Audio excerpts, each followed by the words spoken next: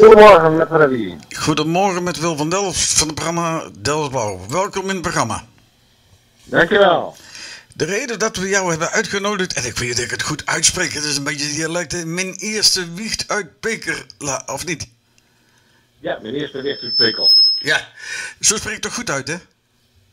Dat spreekt er goed uit, ja hoor. Ja. Valt niet tegen. en dat voor het dialect, hè? Ja. Ja. ja. Eh Freddy de Bruin, geboren Stadskanaal en nu in Nieuwbuinen. Eh waarom deze dialectsingel? Nou ja, het is mijn moedertaal. Ik heb van jongs af aan heb ik dit geleerd. En ik probeer dit een beetje overeind te houden, ook voor mijn kleinkinderen. En als ik er later niet meer ben, dan weten ze in ieder geval hoe het wordt gezongen en hoe het wordt gesproken. Ja. En eh, ik lees in, in een begeleidend schrijven.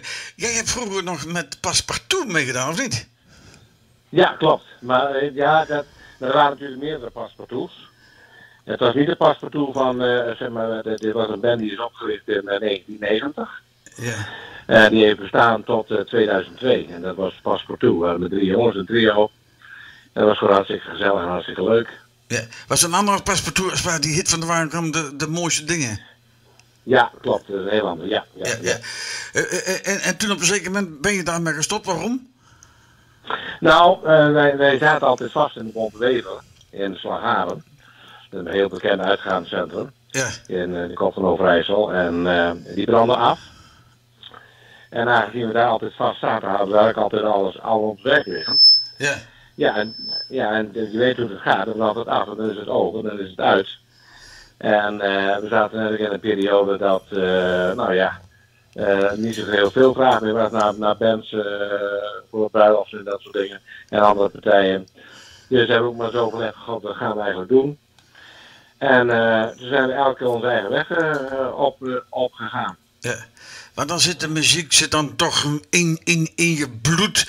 En het kruipt, zeggen ze altijd, waar het niet gaan kan, hè? Ja hoor, ik was, eh, ik was eh, nou, ik acht jaar toen ik mijn eerste accordeon kreeg. En ik was eh, geloof ik twaalf jaar dat ik mijn eerste gitaar kreeg van een nicht van mij. Ja. En eh, mijn buurman die heeft me daar leren spelen. En eh, nou ja, voor liever weten, dan gaat dat wel zo hè. Ja, ja. En nu... En dan, en dan ben je veertien en dan zit je in je eerste band. Ja. ja, ja.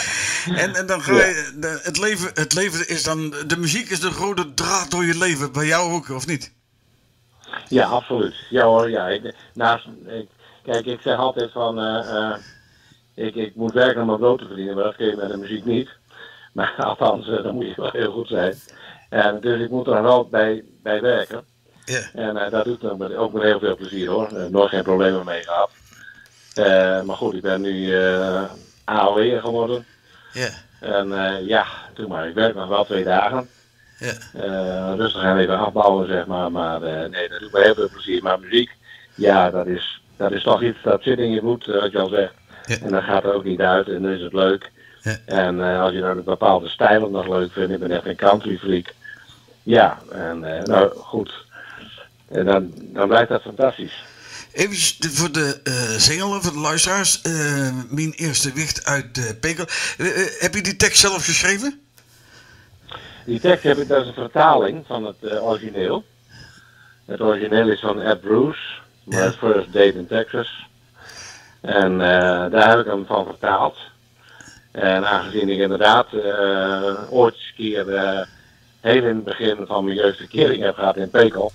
Ik vond het wel lekker klinken trouwens. Ik denk, nou dan maak ik dat ervan. Ja. Dus vandaar zo is die titel on- ontstaan.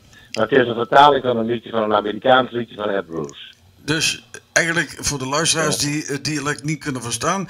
Het gaat eigenlijk een beetje over de eerste lieden die je hebt leren kennen in Pekel. Ja, klopt. En dat is toen uitgegaan. Ja. En eh, later hebben we elkaar weer ontmoet. En eh, nou, dus is de vong erover geslagen, zeg maar. Daar gaat het iets een beetje om. Ja. Eh, maar jij blijft toch het meeste, blijf je toch in het dialect uitbrengen, hè? De meeste eh, nummers, of niet? Eh, er komen, als het goed is, komen nu een aantal in het Nederlands gewoon aan. En dat spreek ik natuurlijk ook al een klein beetje. Het zou altijd te horen zijn dat ik een Groningen ben, maar ik ik doe altijd mijn best, ik. Om zo zo goed mogelijk te, te, te spreken. Maar er komen, er komen een aantal aan ook in het Nederlands. Dus Je bent eigenlijk, eigenlijk alweer een beetje bezig met de opvolger van deze single dan. Je moet een beetje doorgaan natuurlijk, hè. Leuk Ik heb, ik, heb maar, deze- ik, ik heb maar deze weg ingeslagen. Ja, ik heb niet zomaar stoppen nu natuurlijk. Ja. Goed, even voor de luisteraars die meeluisteren. Waar kunnen ze meer informatie vinden over Freddy de Bruin? Nou, dat is gewoon op mijn face, face, Facebook-account, hè. Gewoon mijn naam in toetsen en dan eh, kom je mij wel tegen. Ja. Goed, Dan komt het logo van de, van de CD, eh, zie je dan, en dan heb je de oké. We gaan de single... Op de eerste plaats vond ik het heel leuk je gesproken te hebben vanmorgen hier live in de uitzending. En een En mooie... jullie ook, fantastisch. En ik wens je alvast een heel fijn weekend toe. En een mooie afsluiter kon ik zelf in de dialect de single aan. Oké, nou, daar komt hij dan. Mijn eerste weg uit Pekel. Fijn weekend hè. En heel veel plezier. Doei, Jij doei. ook, hè. Hoi, hoi.